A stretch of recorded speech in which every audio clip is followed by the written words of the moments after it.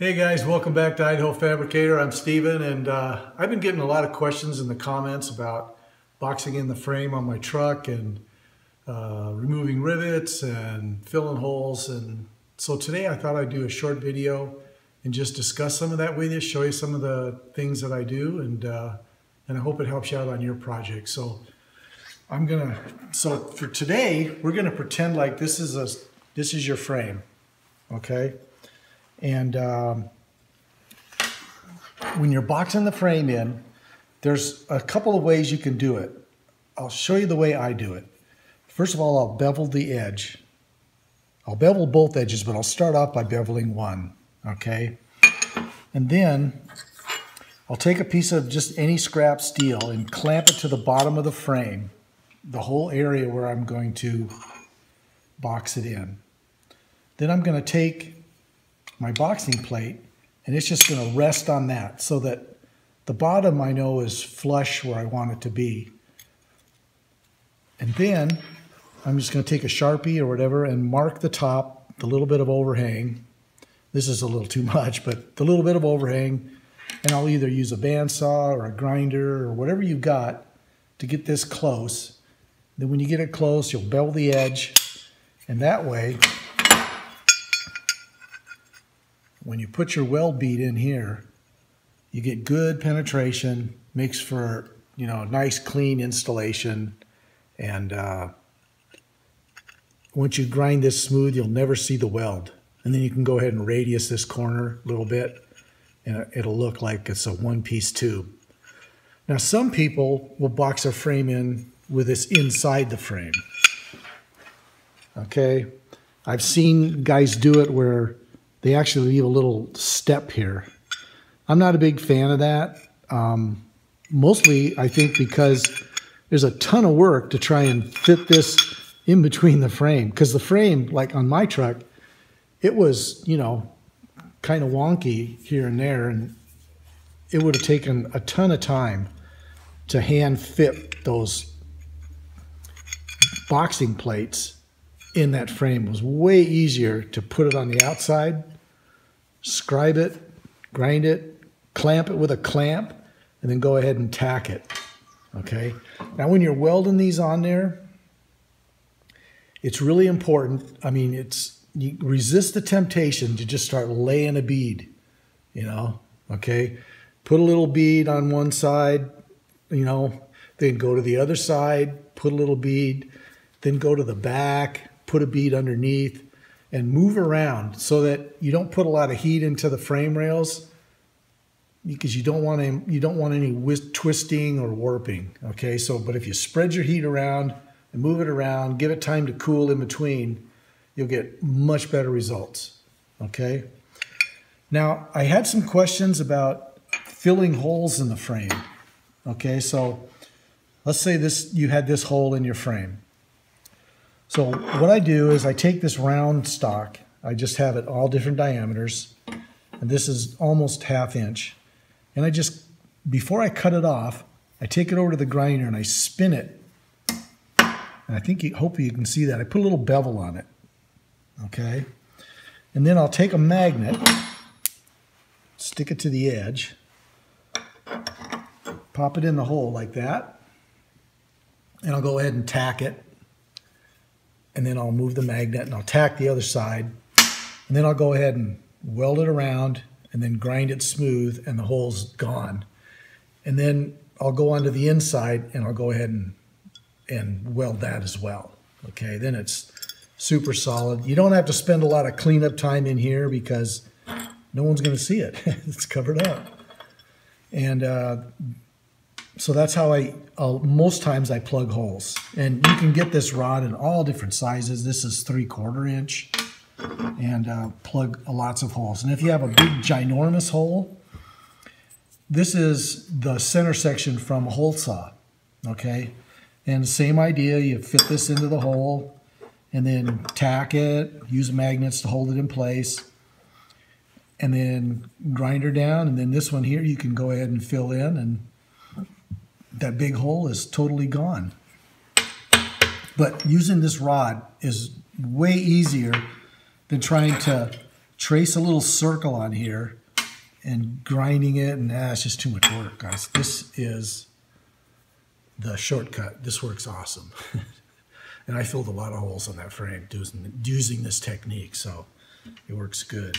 Now, if you got little small holes like 3 16ths and a quarter inch, which I had a bunch of those, you can use a, a copper backing plate.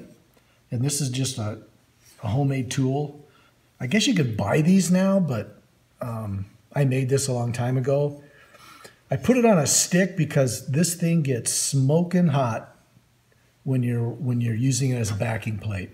So you would put this behind the hole like that, hold it, and go ahead and work your torch around, making a little rosette, have it a little proud of the hole. Then you can go ahead and sand it smooth. Now your MIG wire won't stick to this. It, it kind of a little bit, but it won't weld to this. And that's because copper dissipates the heat so quickly that it, it can never get hot enough to weld to it. So this is pretty good. And where I get this copper is, I go to Home Depot or Lowe's and I buy those little um, those little copper you know nipples that hold the copper pipe together, and I just cut one side and then just hammer it out and flatten it out, and then I get a nice little piece of copper like this. And um, this one's a little bigger one, so I can clamp it with a clamp and fill a couple of holes, a couple of small holes all at once. It works really good. So that's a good source for copper. It's inexpensive and it's easy to get to. Let's see, what else? Oh, now let's say I had some questions about um, putting threaded inserts on the frame. And on my frame, I had a, a number of threaded, threaded inserts that I put. And so here's what I do. So here's the nut. And then what you want to do is you want to get some of these guys here. It's an Allen bolt that's countersunk, okay? And what, what you do is you would put your nut. Now, normally, if you just put the nut on there and maybe put a bolt through it and try and hold it, it's really hard to keep this nut centered in the hole, all right? And most of the time, it ends up being over to one side.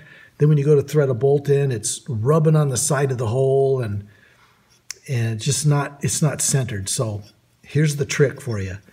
You get some of these and you thread this in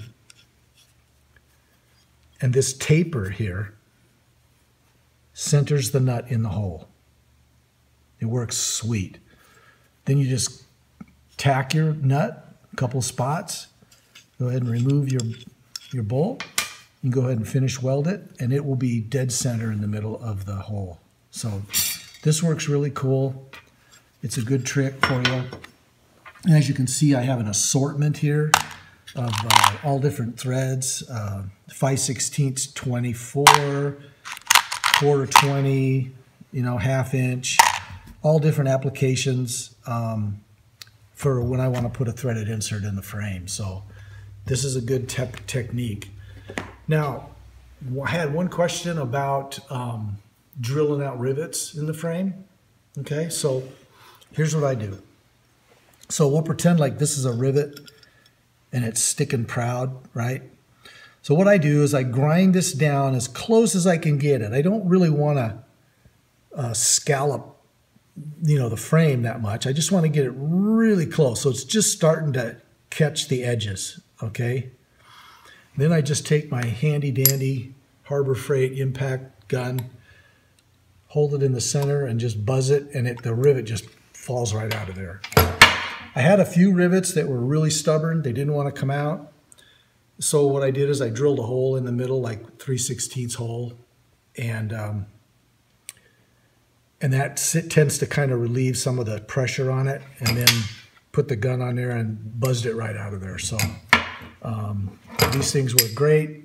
It's just a, a blunt end um, uh, punch and it works really good for removing those. So that is that. Now let me show you on the frame. There was another question about um, um, some more threaded inserts on the frame. So let me show you some of the things that before I box the frame in.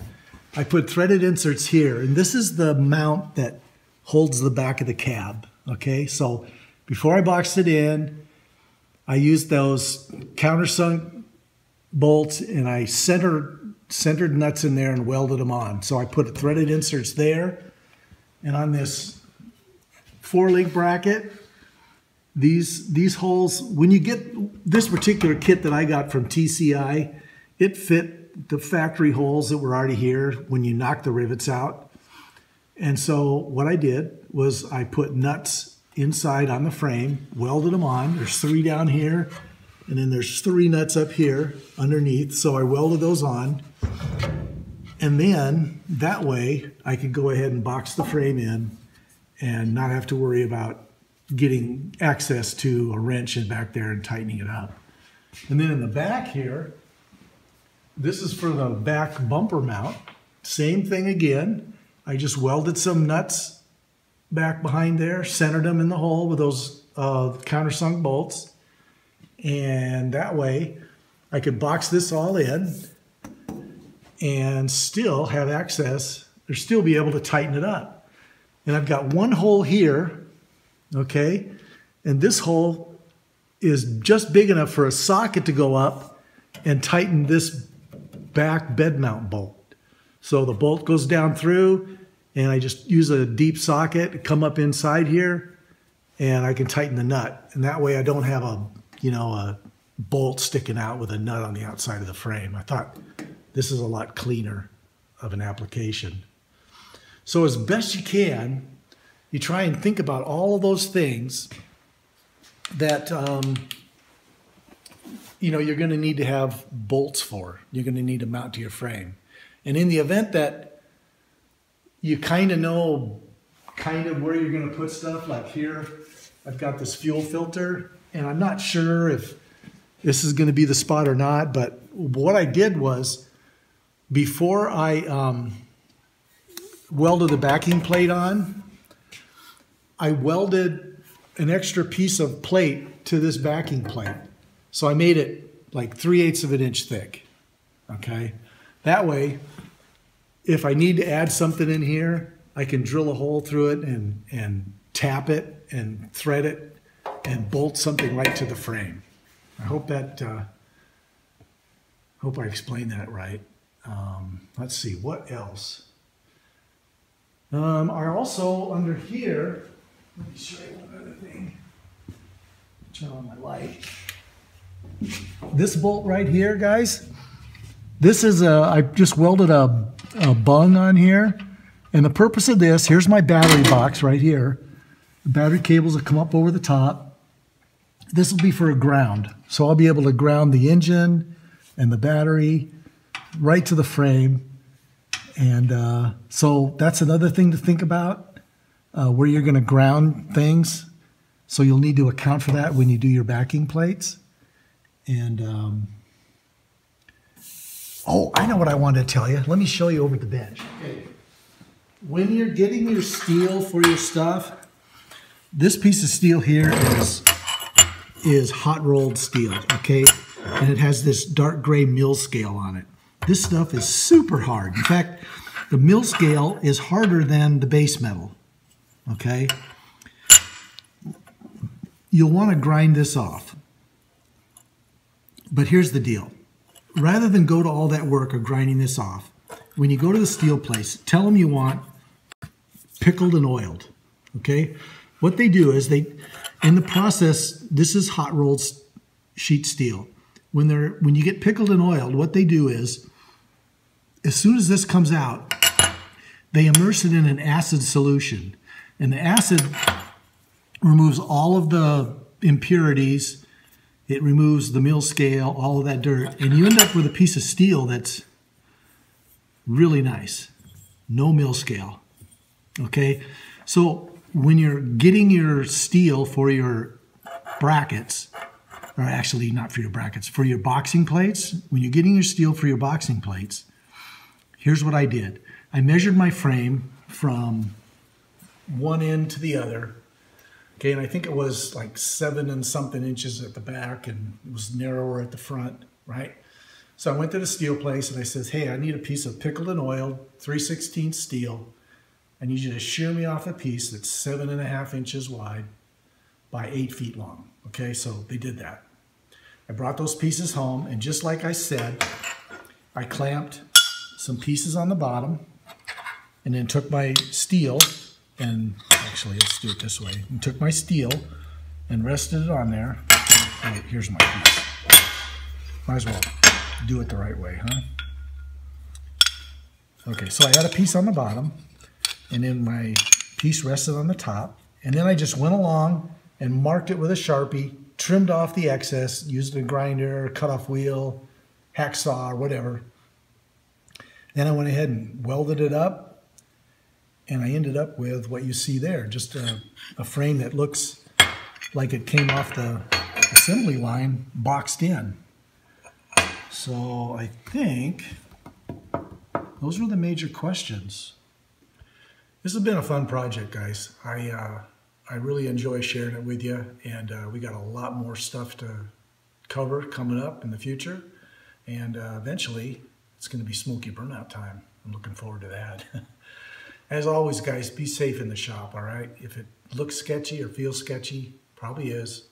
So rethink it. Um, get a safety guard. Get whatever you need to stay safe out there. All right. And I will see you next time at Idaho Fabricator.